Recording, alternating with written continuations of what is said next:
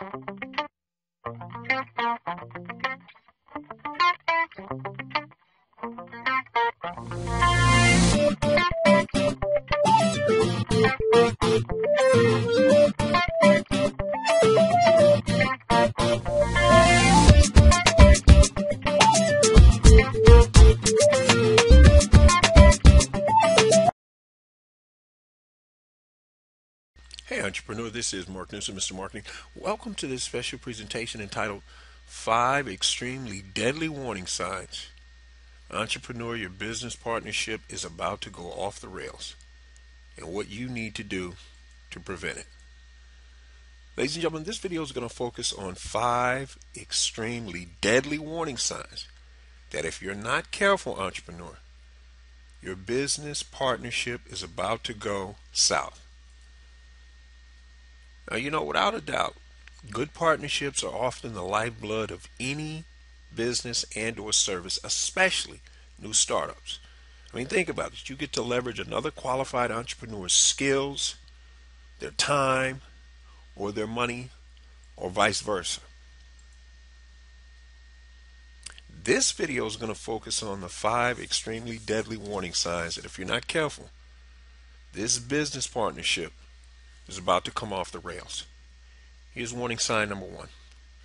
You know, ladies and gentlemen, it's often said that partnerships are like marriage because typically they start off all smiles. But as the bloom quickly comes off the rose, you'd better clearly have defined the goals, directions, and responsibility of each and every legal partner in writing.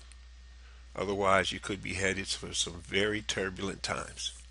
Here's warning sign number two. Ladies and gentlemen, typically partners bring either time or money or a combination thereof. You know, we're going to throw skill in there with time, but make sure your partnership agreement clearly defines the ownership interest percentage, meaning, you know, is it if it's two people, is it 70 30? Is it 80 20? Is it 50 uh, 50? Is it, if there's four of you, is it 25 25 25? You'd better know because if there comes a time that somebody wants to sell or they're forced out or whatever the case may be, you need to discuss this up front. Here is warning sign number three.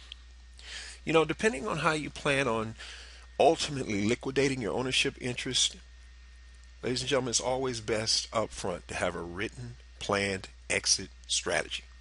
Don't be forced out because of liquidation or the fact that the company's being dissolved discuss this up front. Maybe once a company gets to a certain size and volume 10 million, 20 million, 100 million, whatever the case may be, or one partner decides they want to sell or get out, whatever the case may be, you need to discuss this and have something tentatively in writing.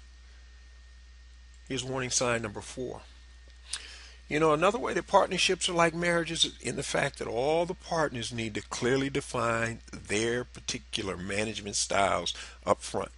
Because sometimes what happens is one manager is really loose and they uh, approach employees one way. Another manager is more rigid, more traditional. They handle employee issues and the management of day to day running business another way. And these two conflicting styles can sometimes get in the way of each other. So you better talk about it and at least have something tentative so you know going in where everybody stands in terms of management styles. And finally, warning sign number five entrepreneur, no matter what type of corporate entity you, you're involved in and the way it's structured, you better understand all the potential liability issues. Because if one partner sued, is everybody potentially liable for this lawsuit? Or if the company gets dissolved and there are not enough assets to pay off any outstanding debts or liens or whatever the case may be, or judgments, is your personal assets at risk? You better find out. Don't take anything for granted. Well, ladies and gentlemen, hopefully, with these five simple, potentially deadly warning signs, you have a concrete understanding in terms of how and why business partnerships sometimes go south. We hope you're never in that situation.